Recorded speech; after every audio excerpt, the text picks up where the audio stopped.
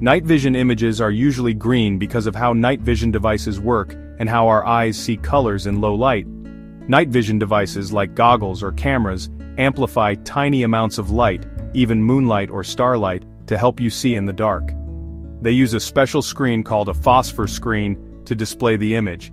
This screen glows when light or electrons hit it, and the most common type of phosphor used glows green.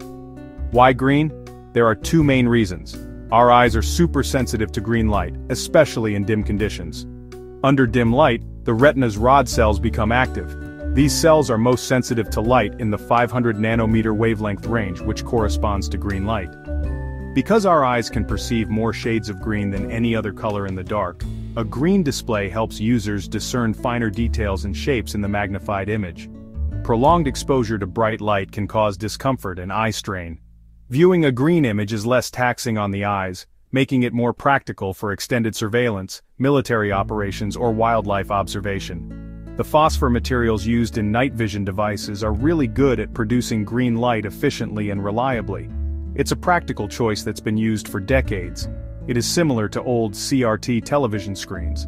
So, when you see those greenish night vision images in movies or games, it's because the tech is designed to use green to make things clear and visible in the dark.